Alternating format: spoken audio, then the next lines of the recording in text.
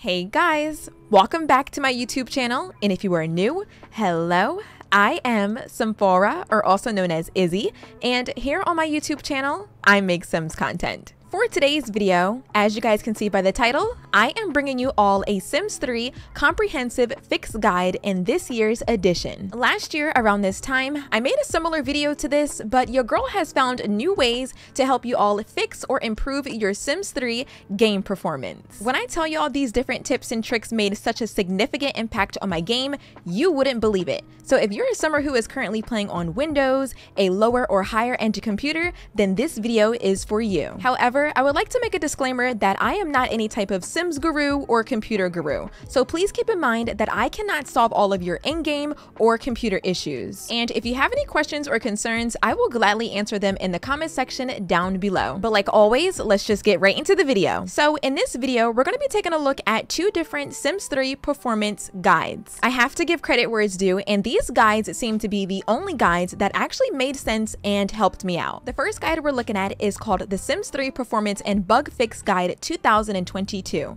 This guide was created by Anime Boom, and it's basically a guide on how to make The Sims 3 run smoother, use mods to fix unpatched bugs, and fix some compatibility issues on newer gaming PC hardware and systems. Hello, welcome to my guide for The Sims 3 and how to improve its performance on newer PC systems. Every step that I have listed are steps that I personally use to make my game run much more smoother on my PC system. If a step has an optional tag in the title, it means means it's up to you if you would like to add the tweaks to your game. If it has a essential tag in a title, it is recommended that you use this step to get the best results with the game and its performance. If you have any questions, feel free to look at the FAQ section or ask in the comments below, and I will be sure to assist you in any way that I can. Happy simming! This guide is intended to be used with the game version 1.67 and 1.69. This guide was not made to be used with the game version 1.70, which is the 64-bit Mac update. Edit at your own risk if you're using the game version 1.70, and like any type of game guide that makes you edit the game files, always, always back up your files before starting. Making the game recognize your GPU. This step is very important for those using newer or older GPUs. If you don't know what a GPU is, it's another word for a graphics card, and the purpose of it is to render graphics. The reason as to why you should make your game recognize your GPU because it'll benefit in less lag spike in your gameplay. There's two different ways on how you can have your game recognize your GPU, but I'm going to show you guys the way I did it because it's more accurate. There is a GPU add-on support tool, but I'm not going to recommend it to you guys because I've heard that it doesn't work. So if you guys go into your documents, electronic arts, and the Sims 3 folder, you will see a device config log file. If you open it up and look all the way down to the graphics device info, you will probably notice that your GPU database is found zero and matched zero. That means your GPU is not recognized. My GPU is already recognized, so I'm going to show y'all how to recognize your own. Now, please listen to this step very carefully because it can be confusing. If you go into your program files times 86, Origin Games, The Sims 3, Game, bin, you will see a graphics card SGR file. So go ahead and open it up. Once you open it up, you will see a long list of lovely GPU series, and you have to find your own. I would recommend keeping up your device config file so that you can save yourself some time. You're probably wondering where do I put what, and if you look back at your device config log and find your vendor, my vendor is ATI, so I'm gonna look back at my graphics card SGR file and look for that specific vendor, which is right here. Now, if you have NVIDIA and you scroll all the way down, down, it should be right here. So you're gonna put your info right here. And if you have Intel, yours is gonna be all the way at the bottom and you're gonna put your information under here. Once you figure out which vendor you have, you need to find exactly which GPU series you have. Mine is Radeon RX 6800 XT series and I put it right here. I don't think the placement really matters, but do it just in case. As long as you have the correct numbers in there and your sentence is properly formatted, the game should recognize your GPU. Let me show y'all a little demonstration. When I typed in my information, all I had to do was press enter and spacebar a few until it's evened out. I typed in card and you wanna put in these weird looking numbers and letters, but you have to go over here and look at your device config log and go and find your chipset and your device number. So you see this? Yeah, it's like numbers and letters combined. But first you want to put in this 0x and you want to mimic that number right there. So mine is 73BF and you want to do that space again until everything is evened out and put those quotation marks and put down your vendor name. Mine is ATI, but I have to put AMD. I don't know why. And then you want to type in basically your graphics card name, which is mine is Radeon RX and that 6800 series. And make sure that's in caps. I don't even know why that's like lower, but you, you get the gist. And then I want to put in that XT unless you have that series like this, but I don't have it. So I'm just going to keep it like that and then put your quotation marks and make sure you save the file. Here's another example of what your information should look like on your graphics card SGR file. I hope it makes sense to y'all because this is the best that I can explain it. Next, you will need to open up your graphics rules SGR file, which is also located in the Sims 3 game bin. This part is hella confusing, so listen very carefully to this part as well. Once your graphics rules SGR file is open, you're gonna scroll down and find your vendor name once again, like you did with the other file. So if you're NVIDIA, you are up here. If you are ATI just like me, you're in the middle. And if you're Intel, you are the very last one down here. Okay, so let me just tell y'all, just copy and paste. You're gonna save so much time. So if y'all see this thing right here that says or match and all that humble jumble, just copy all up into here. Yes, copy. Don't type nothing. And let me show y'all where mine is. I'm just gonna like do like a little copy and paste. All right, so I'm gonna space this out and put it again, and then I'm gonna type in the quotation marks, the star, and half of the GPU name, which is the RX. I got that from my device config log. So if yours is like NVIDIA GTX, you would put that. So let me go ahead and put in this information. Um, RX.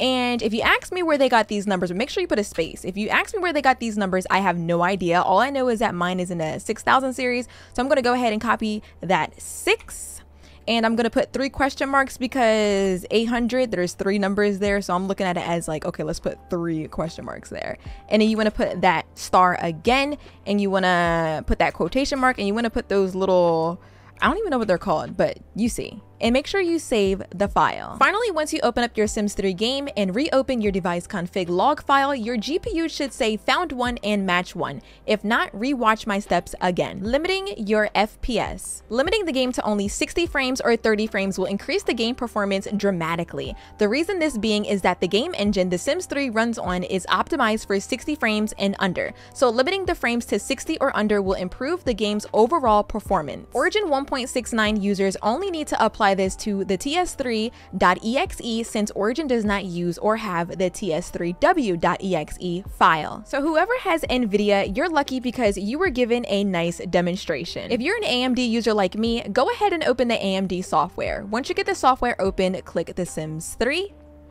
look for Global Graphics, and scroll all the way down to advanced. And then you're gonna look for a frame rate target control. You wanna enable that, and then you wanna set your FPS to either 60 or 30 like the guide said, making the game use more CPU. If you are using a PC with a low-end CPU or a PC that is not meant for gaming, please skip this step. If you don't know what a CPU is, it is also known as a central processing unit. I like to call this the brain of the computer because it is responsible for all data processing operations. Making the game use more CPU was such a game changer for me. All you have to do is go back into your graphic rules SGR file in your Sims 3 bin folder and change the four numbers from 4321 to 4333, then save the file. Making the game use the correct amount of VRAM. If you don't know what VRAM is, it is also known as video RAM. This is completely different from RAM. VRAM is a portion of RAM that is specifically dedicated to processing graphics related tasks. It also ensures that the display of graphics is executed smoothly and evenly. Once again, open up your graphic rules SGR file in your Sims 3 bin folder and look for steady texture memory 32. But before we make any changes, you need to know how much VRAM is on your GPU. If you don't know how much VRAM is on your GPU, you can Google this information. I typed in my GPU, which is AMD Radeon RX 6800 XT VRAM, and Google says that I have 16 gigabytes of VRAM. Once you know how much VRAM your GPU has, you can now change the steady texture memory number from 32 to your GPU VRAM amount but converted in megabyte. Here's a list of the VRAM conversions from gigabyte to megabyte. Since I have 16 gigabytes of VRAM on my GPU, I'm going to change this number to 8192. And then you want to go down here to set B texture memory size OK false and put a hashtag in front of it and also space it. And then you're good to go to save the file. Clearing cache files. Every time you open up your Sims 3 game, the game generates cache files. This can slow down your game performance because over time, these files will become very large. So deleting these files before running your game will make your game run smooth, and I can guarantee that this is safe to do. Cleaning DC backup folder. When installing things through the launcher, the path to those files are saved in this file, but of course there are a lot of files that are not needed and will slow down the game. You can delete everything in this folder except for one file and it is called CC merged. This file is required. The rest can be deleted without any trouble. If you intend to upload Sims and Lots with CC to the Exchange or any other site, do not delete these files, or the Sim and Lots will use non-CC files when exported. Restricting store-generated JPGs. The featured items folder is so unnecessary. It generates images of the store items every time you click on the store feature in the game, so disabling this folder from updating more JPGs will increase your game performance. Going back to your Electronic Arts Sims 3 folder, look for a folder called Featured Items. When you find this folder, go ahead and right click it and press Properties. Make sure you guys have admin because you need admin rights to do this. Then you want to go ahead and go to Security, Edit, and you want to deny everything here on this list. Once it's denied, you're good to press apply and okay. NRaas mods. All right, now we're looking at another Sims 3 guide from Reddit created by Shang Simla. NRaas mods are must-have mods in my opinion. They can have a significant impact on your game performance. The NRaas mods that I would highly recommend are Master Controller and Master Controller Integration, ErrorTrap, Overwatch Debug Enabler, Saver, Tempest, Traffic, and Register. You will need a mods folder for these mods. If you don't know how to create a mods folder, there's plenty of resources out there to guide you on the web. World Fixes. Sims 3 world fixes may come in hand for some people that struggle to run certain worlds. For an example, I noticed a lot of people are not able to play on Bridgeport or Isla Paradiso due to lag, crash, or poor routing. Thanks, EA! But thankfully for this mod creator named Ellacharmed, they created World Fixes, so check it out if you're having any world issues. Smooth Patch 1.21 and 2.0 Beta. The Sims 3 Smooth Patch. This mod is created by Lazy Duchess and it is a miracle. I highly recommend everyone to download this mod right now because this mod makes the game's logic thread run faster, speeds up the loading of build and buy and CAS, smoother UI elements, smoother CAS, and can also speed up live mode and loading. It's essentially a general improvement. If Lazy Duchess instructions are confusing, I have a video on how to download this mod and a mini overview of what it looks like in-game. The Sims 3 Smooth Patch 2.0 beta also created by Lazy Duchess. This mod recently got released to the public and I am in love with this mod. This mod consists of CAS clothing now load way quicker, allowing you to switch between categories, scroll through clothes and switch clothes with ease. CAS no longer disable buttons while it loads patterns, allowing you to uh, utilize it and change categories quicker. Buy and build object previews now spin at a reasonable speed, regardless of your TPS. CAS audio fixes, Sims voices will no longer be sped up or paused in CAS, and music shouldn't stop at random anymore. And semi-compatibility with Master Controller CAS, most non-clothing related features should work. Clothing related MC settings will mostly be ignored. Right-clicking on CAS items to display a log does work, however, working on improving compatibility. This mod is actually really easy to download. All you need to do is place it into your mods folder, but keep in mind that this mod is still in beta, and it is recommended that you have the main version of Smooth Patch with this. Regul Save Cleaner. This program is used to clean your save files and maintain its stability. It is very important to clean your save files at least once a week. Cleaning your save files can prevent it from bloating up and any annoying error codes. This program is easy to download. You may need to install Net461 or Net6, but it is completely safe to have on your computer. Once you get the Regul Save Cleaner program successfully installed on your computer, it will look like this. And then you'll see a bunch of cleaning options. You get to remove family portraits, hundreds portraits of Sims, lot thumbnails, photos, generated images, textures, and other types. You can also make yourself a backup, which is highly recommended, and clear a bunch of cache files. Dashboard Tool. I think everyone knows of this program, and if you don't, I recommend downloading it. This program is really good at detecting any CC related problems like Sims 2 or Sims 4 packages, duplicates, conflicts, corruptions, and disabled CC. This program is also really easy to download, however, you may need to install Net Framework 3.5, no or fewer automatic memories. This mod is a lifesaver, especially if you don't care for the Sims 3 memory system. This mod stops the memory scrapbook from filling up with useless memories that then have to be manually deleted to keep the save file small. With this mod, you have three different decisions to download from. I am currently using the mod that turns off all memories, but there's also a version for only important memories, or you can customize your own. Simler90's Gameplay Systems Core mod. This mod is a big core mod. It fixes all of EA's mistakes. I recently added this mod to my game. So far, I am enjoying it, so download this at your own risk